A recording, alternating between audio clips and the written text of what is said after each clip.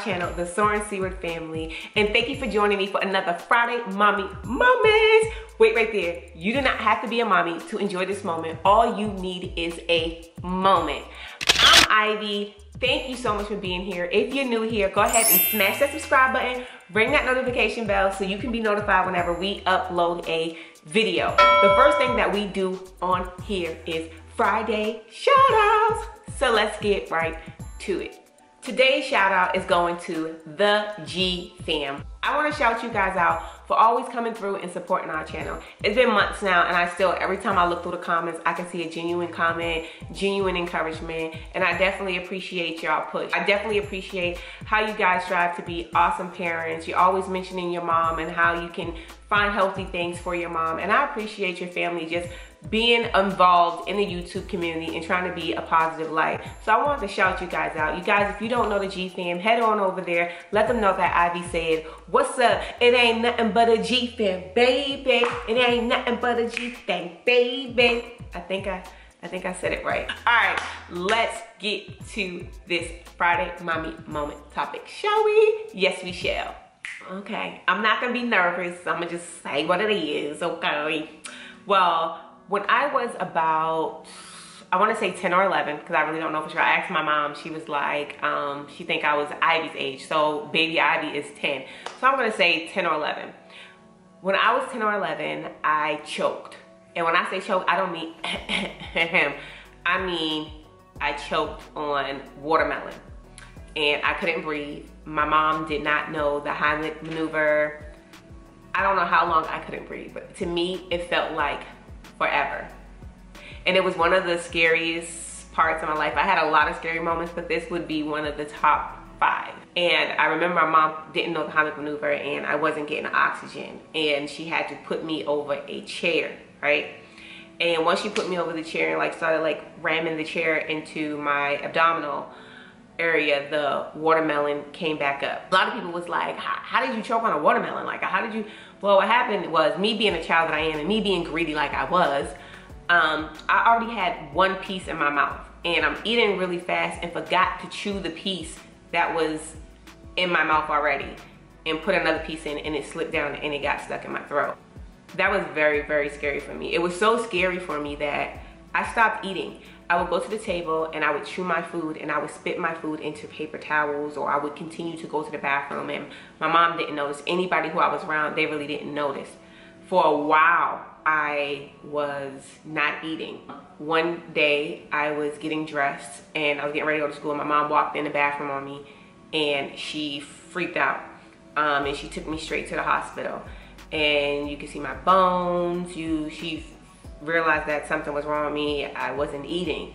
So I went to the hospital um, and I told them I stopped eating when I choked. My mom couldn't believe that I had not eaten for that long. And um, my mom's a single mom and very, you know, busy and things like that. Before everybody stopped, like, how can your mom not notice that she was eating? Everybody um, grows up different. Let me just say that. Um, but anyways, after that, um, I still wouldn't eat I wouldn't eat food. Um, my mom would make jello or buy like applesauce and things like that, things that I didn't have to chew. But you guys, um, for years, I didn't eat properly. And people who ate around me, they noticed it. Like I would chew and I would try to swallow my food, but I just couldn't bring myself to swallow food. Like if I, I would think that I had chewed it and swallowed it and then bring it back up because I was scared that I was gonna choke. Like it's really bad. Um, can't believe I'm sharing this with you guys, but I am. I have a point to all sharing this with you. Um, even when I would be around my family, they would make fun of me and be like, why you always, they're like, yo, especially my nephew Giovanni. If you watching this, my nephew Giovanni, he's the one who picked up on it. When I would swallow, I would do this. I would do that, like stretch out my neck. Sometimes I still do it to this day, like un, subconsciously, not knowing, not thinking about choking at all, but just, um, it was such a habit for years, for years. And when I say years, when I met my husband, I was still not eating properly. I would only eat cereal, uh, stuff that dissolves quickly, you know? Um, or if I did eat food food, it would take forever for me to eat it and I wouldn't finish it. And it would get to the point that I would just throw the rest of the food away. I would never finish my food. When I met my husband, he noticed like I didn't, I, I wouldn't finish my food. So I eventually had to tell him, hey, um, let me just tell you something because I, I was growing close to him and at the time he was my best friend. He's my husband best friend now. But um, I had to tell him like I have a problem with eating and this is what happened and this is why I don't eat the way that I that I'm supposed to. I'm, I'm afraid that I'm going to choke.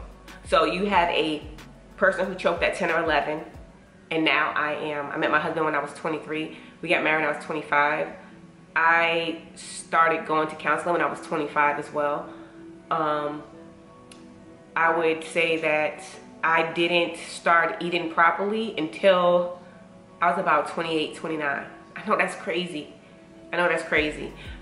I know it might sound weird, but I'm, that's just what it is. Um, that's a long time to go through fear like every time you eat, you know? Sometimes I would wait and be like, I'm not hungry. So even when we would go out with people, they'd be like, Ivy, what's wrong? You not eating? I'm like, oh no, I'm gonna just take mine to go, take mine to go. Because I knew every time I would sit down and eat with somebody, I'm not gonna finish my food. It, it, would take me too long because I chew it and I chew it and I chew it and I chew it and I chew it and I chew it and I chew it. You guys, that is a long time to be fearing choking. And you know, since that time that I choked, I've never choked again. But because that fear was embedded in me from choking and not being able to breathe, I always thought that that would happen again. And I bring this all up to say things from our past that has brought us harm or that have hurt us or that have put us in a weird space can affect us more than we know that it's affecting us. And we might think that, oh, we're over it, we're cool, we're, we're good. Even after my mom took me to the hospital and things like that. Still wasn't eating properly. Even growing up, going to school, going through different programs, still wasn't eating properly. Meeting my husband, getting married, having children, I still was afraid that I was going to choke. I wish my husband was here because sometimes I would swallow the food and the food is down. I'm talking just like this and I would think that I am choking. Like I was like, I don't, I don't think I chewed it right. He'll be like, babe, he'll hold my hand and he'll be like, babe, you're breathing, you're talking, it digested, it's okay. I am so, when I, when I look at my life and when I think about my life, I am so thankful that God put my husband in my life. Because the things that I had to overcome, the things that I had to still fight and face today, if I didn't have a husband who loved God more than me, there's a lot of things that I wouldn't be able to make it through because God knew what I needed. God knows what I need right now. And God know I need a man of God. Because every time I'm faced with something, fear, whatever brain comes back from the past or whatever it is, my husband holds my hand and he prays for me. He prays with me. And I want to let you guys know today, take a look at your life. Take a look at your day. Is there anything that you are battling with consistently, whether it be subconsciously or you're knowingly doing it? I would like you to take the time to deal with it. I would like you to take the time to not be like me and take it before God and tell God to take that burden, that fear, whatever it is that you have that you are constantly battling every day and say, God, help me with this load because I can't do it by myself. And I couldn't face that by myself. Not only was God there, but he also sent my husband to help me along the way. Somebody that I could say, hey, I know it might sound crazy, but I'm afraid of choking because I choked when I was a child. Whatever it is that's embedded in you, that you don't want that no more, that you're tired of waking up in the morning dealing with it, you're tired of dealing with every single day, it's knocking at your door. I encourage you to take it before God. I encourage you, if you don't believe like I believe, I encourage you to take it to a friend or to ask somebody for help. I would encourage that because I don't want you to stunt your growth. I don't want you to add more to your plate that you already have. So I hope that today, what I shared with you, is so personal and embarrassing, that it was able to get to you and help you if this video is for you. Whenever I say what God has put on my heart, I never know who it's for. I never know what it's for or what it's going to do or if anybody is going to receive from it. But I know that I feel amazing and I feel like God is working in me whenever I come and I share with you guys. So today, that's what I wanted to come and share a piece of me with you. And I hope that it gets you through. But just know that you're not alone in this world. So until next time, you guys, stay blessed, stay true, and continue to be who? Continue to be you because the world needs more people like you. And if you're not feeling needed, know here on the Soaring Seaward Family channel, you are needed. Peace out, great people. Lord willing, see you next Friday.